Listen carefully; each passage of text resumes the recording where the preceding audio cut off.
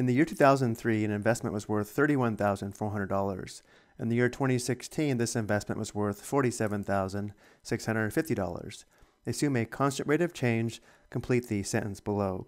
The value of this investment either increased or decreased at a rate of what?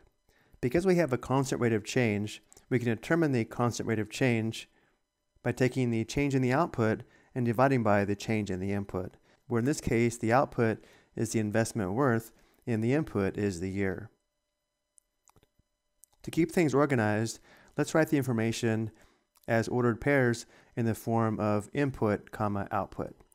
So the first ordered pair is 2003 comma the investment worth of $31,400 and the second ordered pair is going to be 2016 comma $47,650.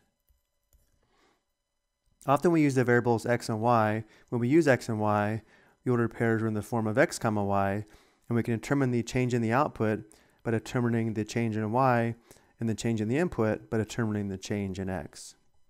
Let's label the first ordered pair x sub 1 comma y sub 1 and the second ordered pair x sub 2 comma y sub 2.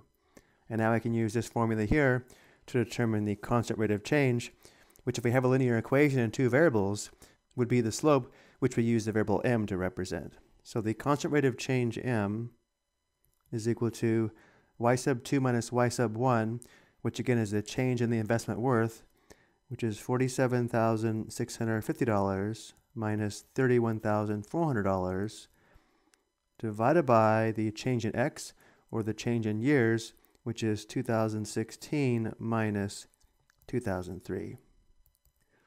47,650 minus 31,400 is 16,250, and the units, remember, are dollars.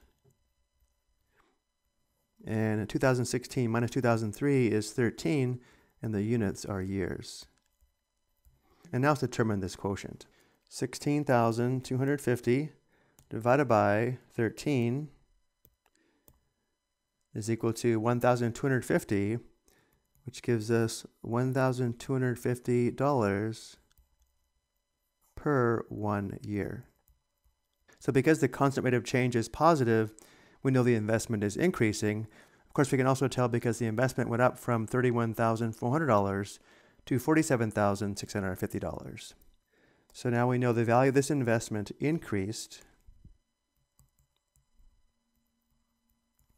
at a rate of $1,250 per year. Let's look at a second example. Again, let's write the information as ordered pairs. In the year 2008, an investment was worth $47,500. This should be the ordered pair 2008, comma $47,500. In the year 2015, the investment was worth $41,550. So the second ordered pair is 2015, comma $41,550. And again, to keep things organized, let's label the first ordered pair x sub 1, comma y sub 1, and the second ordered pair x sub 2, comma y sub 2. Assuming a constant rate of change, we want to determine the constant rate of change. So the constant rate of change m, again, is equal to the change in the output divided by the change in the input, or the change in the investment worth divided by the change in years, which is given by this formula here. So y sub 2 minus y sub 1 is $41,550 minus $47,500 divided by x sub 2 minus x sub 1, which is 2015 minus 2008.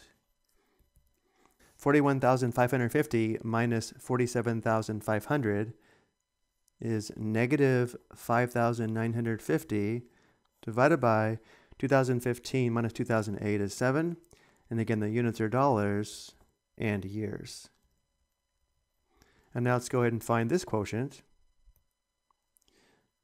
Negative 5,950 divided by 7 is equal to negative 850. And therefore, the constant rate of change is negative $850 per one year. So notice how here the constant rate of change is negative, and therefore the investment has decreased in value which again we can see because it went from $47,500 to $41,550. So the value of this investment decreased at a rate of, we don't include the negative here though because the negative indicates the decrease. So we say the value of this investment decreased at a rate of $850 per one year or just per year. I hope you found this helpful.